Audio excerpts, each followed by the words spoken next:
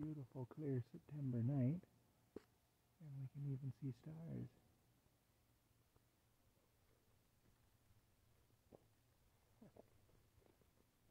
Which is kind of neat. Well, I can see one star anyway. I can see more myself, but they're not showing up in the um, they're not showing up on the screen. Anyway, let's uh, head back to Kamp Krazy.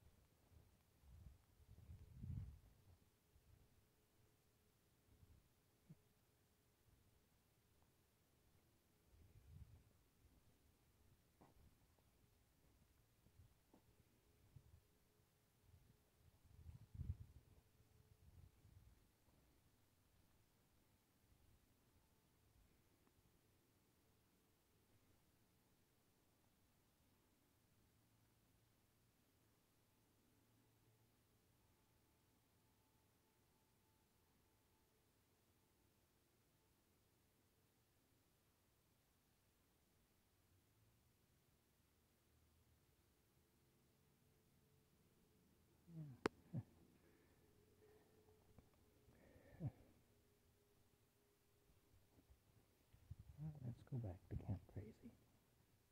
I'm hearing something back here. I hear something.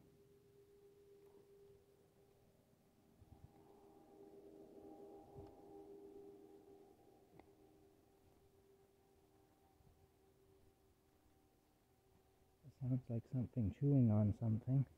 Probably raccoons. They'll likely scatter when they see me. If it is raccoons, they'll likely scatter.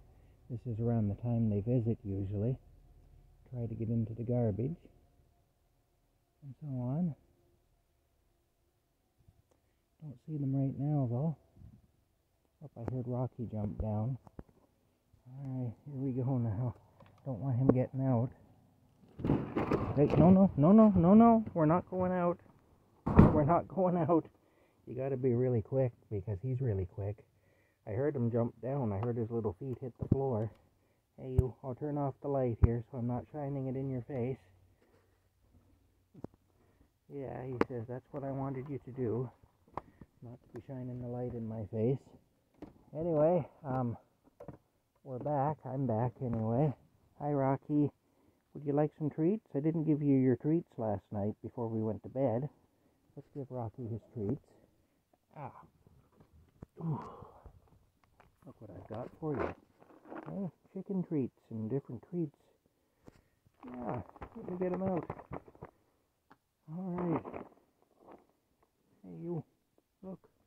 Look, Rocky. Look. Come here. Come here.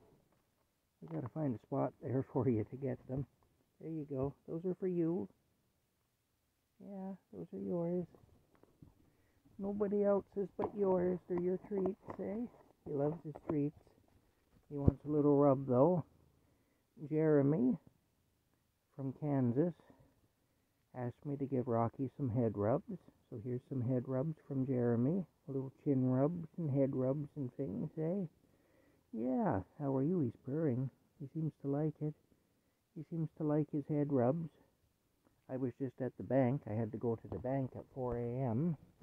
because I ordered a cell phone that's supposed to be here tomorrow. Because this cell phone is now dead. It won't take a charge at all.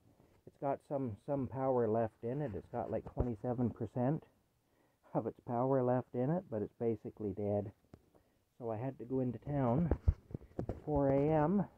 and put $100 cash into the bank to make sure because the cell phone's going to cost 170 and I only had around 100 in the bank so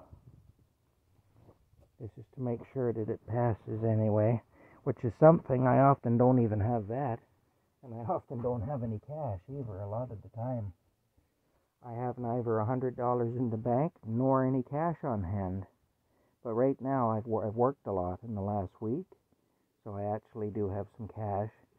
Cash that I'm supposed to be saving so for propane and whatnot in the wintertime so Rocky and I don't freeze to death. But I need to ha- I need to have a working cell phone. The, this, the, the phone that I have no longer does the job. So yeah, it no longer takes a charge. It would work otherwise, but the charging ports on these things are terrible. I've got this mirror on here holding the thing down, hoping that it will connect, and sometimes that works, but it's not working today.